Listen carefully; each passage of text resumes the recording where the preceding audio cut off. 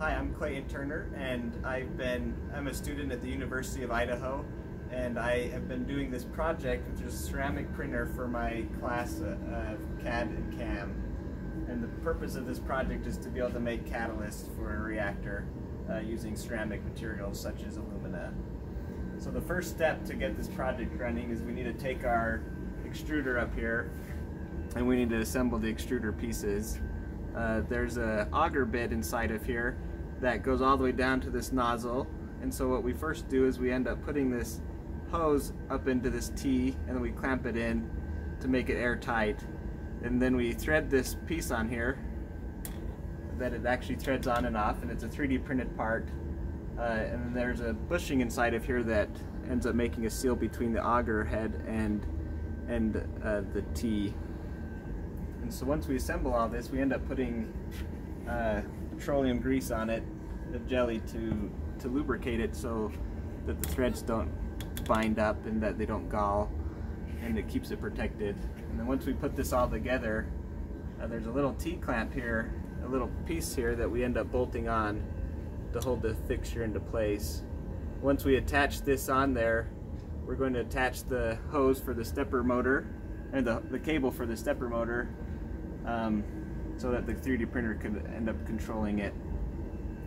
Once we assemble all this and put it together, and so it really is just a T, there's a little piece here that comes off, and that's the, the extent of this part.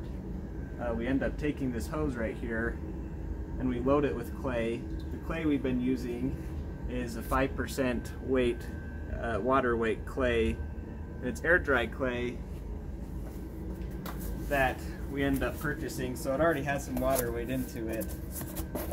But for this purpose that we've been doing, uh, we added a, about 5% water weight to it, into this mixture to get it to print pretty consistently. Once we load this in here, uh, we uh, we don't attach it to the T yet. We end up running the printer to make sure that it's all level once this extruder, extruder is all put on. And so to level the extruder, uh, we come to the printer over here. And we push this level button right here. And then we go to different points. And so I guess we'll just do point one. The printer is going to home itself. And then it'll go to that point point one. And what we're going to do is we'll take a piece of paper and we'll put it underneath it. And then we'll twist this knob right here until the printer starts grabbing it. And so it's still pretty loose right now.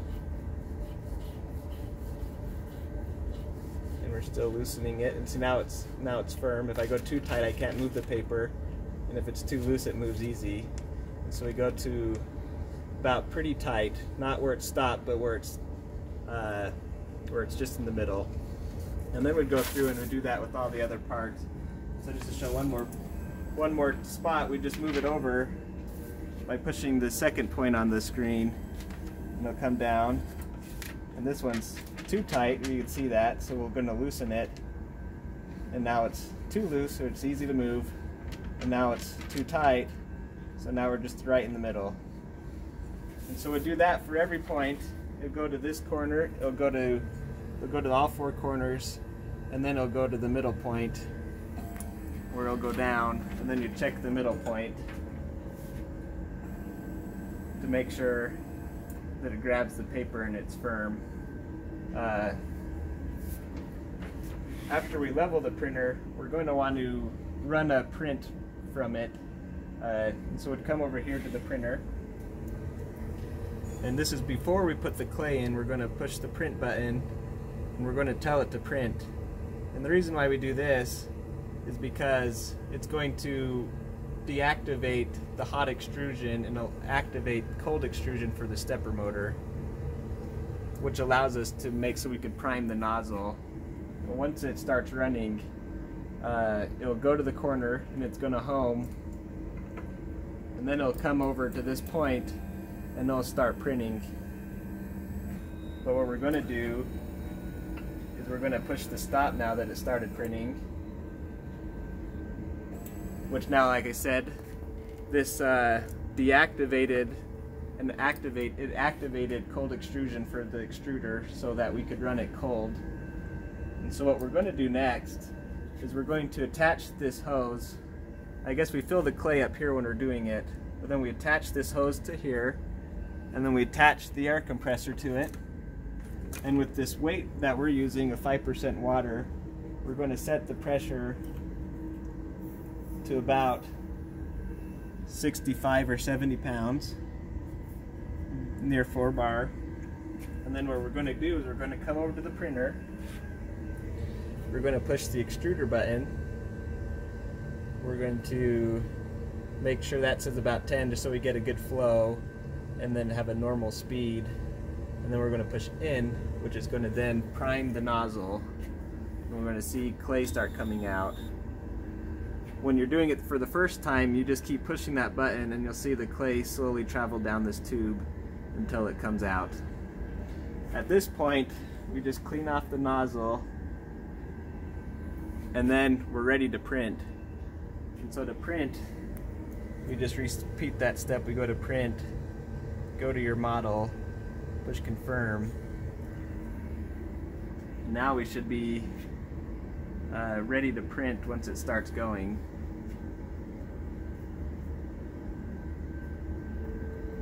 and then it takes time you have to maybe refine fine tune the printing uh, fine tune the leveling while it's printing but here it goes you might need to adjust the pressure a little bit see there it goes. It's printing our part. Right now I have the pressure set to about 85 pounds.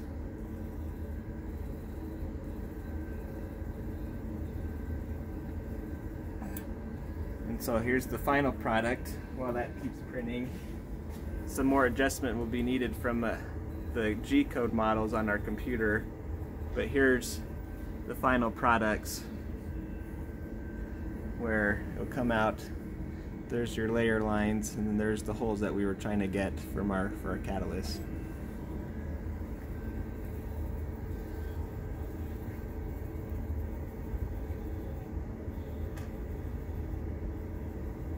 And that's it.